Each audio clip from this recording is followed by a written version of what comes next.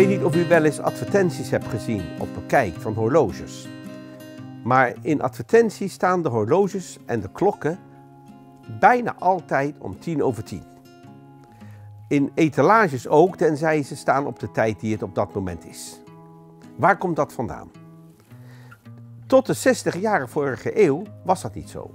Het is geïnitieerd en eigenlijk door iedereen overgenomen door een reclameman, een reclameman, een Joodse reclameman die iets heeft meegemaakt wat hem heeft geïnspireerd om voortaan alle klokken en horloges in advertenties om tien over tien te zetten.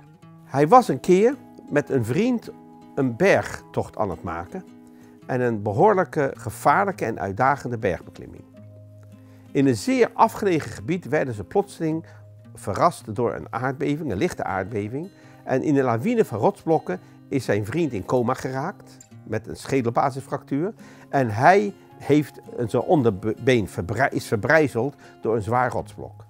Terwijl hij daar hulpeloos, compleet verlaten, hulpeloos en in nood lag, heeft hij een, een, een, een, een psalmboekje gepakt wat hij bij zich had, opengeslagen en de tiende psalm en daar de tiende regel van heeft hem enorm geïnspireerd en hem kracht gegeven. En hoewel het geen religieuze Jood was, dat psalmboekje had hij meer uit bijgeloof meegenomen onder, onder druk van een relatie van hem.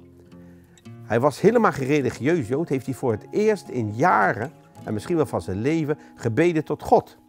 Door een wonder komt er een helikopter. Die helikopter die merkt beide heren op en ze worden gered. Dat was om tien minuten over tien. Maar dat is niet de reden dat hij later al die horloges in advertentie 10 over 10 heeft gezet. Er zat nog meer achter. Het was ook niet alleen de tiende regel van die psalm.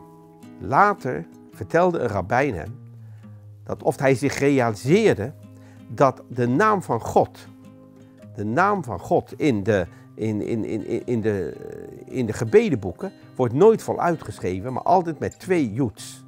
En de letter joet is ook tien. Daar heb je weer die 10 over 10. En tenslotte, hij realiseerde zich toen dat hij voor het eerst van zijn leven zijn armen naar God had geheven, naar de hemel, toen hij smeekte om redding en om hulp. En hoe, hoe klinkt dat en hoe ziet dat eruit? Dat ziet er zo uit. 10 over 10, die armen.